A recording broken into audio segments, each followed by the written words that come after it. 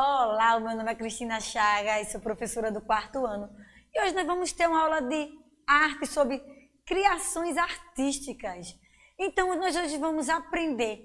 Quando a gente vê uma arte, o que a gente, a gente imagina? O que será que o artista quis mostrar ali? Por que será que ele criou aquilo ali? Como saiu da mente de um artista? Será que você, depois dessa aula, irá conseguir fazer uma produção artística? Vamos lá. O que são criações artísticas?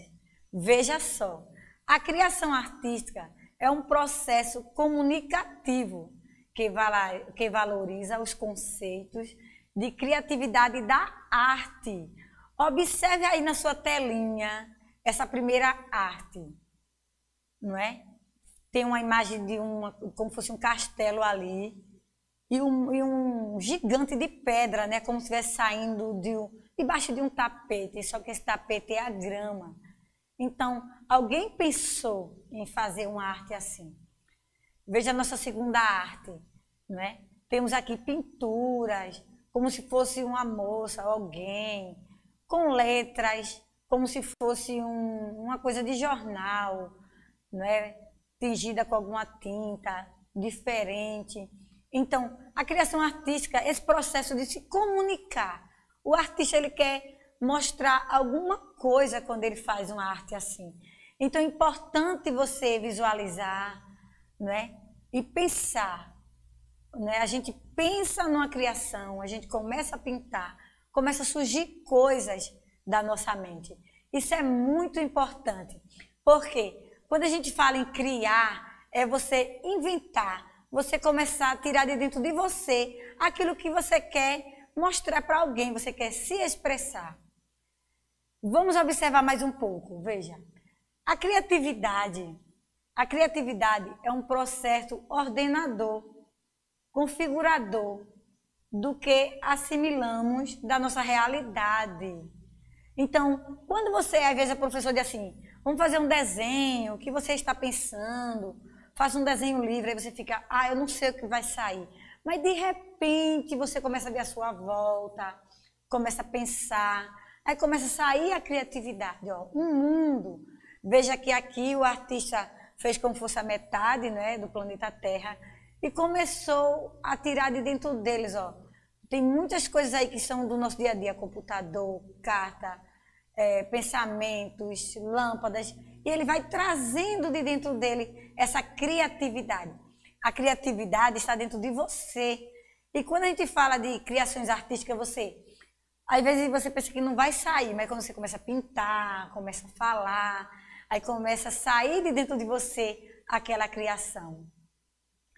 E para isso, quando veja, veja só, quando você começa a ver, você começa, que cor eu vou pintar, se eu vou usar linha, ponto, bolinhas, você vai pensando.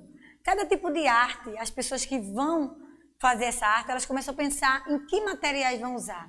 Então, veja, quando você observa uma arte, desperta logo um, olhar curioso.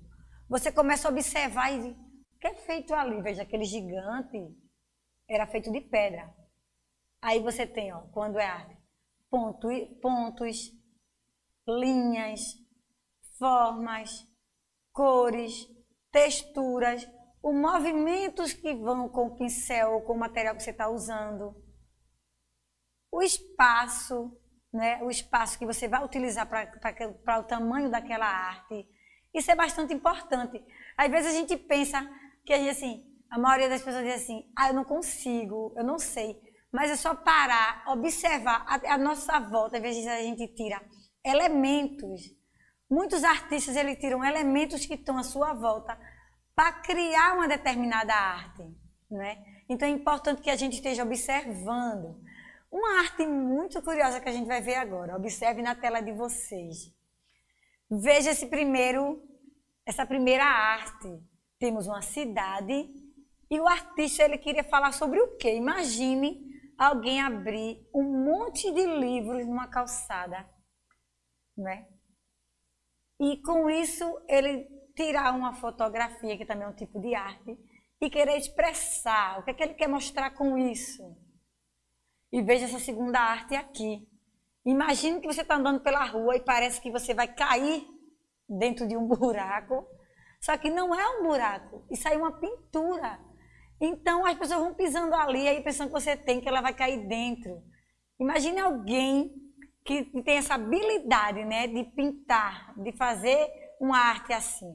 Então a importância das pessoas. De um lado espalhou um, os livros, tirou uma fotografia, do outro pintou o asfalto para que pudesse ter esse efeito de cair. Não é?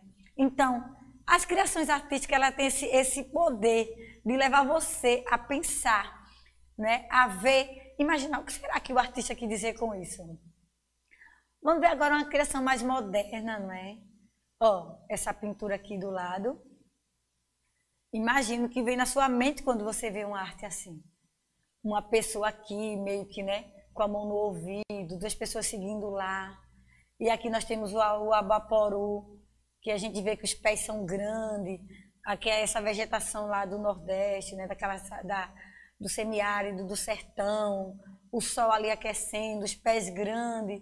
Então as pessoas vão se expressando através da arte. E olha aqui, ó, essa aqui, não é? Essa arte aqui que é muito conhecida, que vem nos livros da gente, que é as pessoas fugindo da seca como fosse a fome, pessoas morrendo. Então veja as faces das pessoas a arte que o artista quis mostrar aí.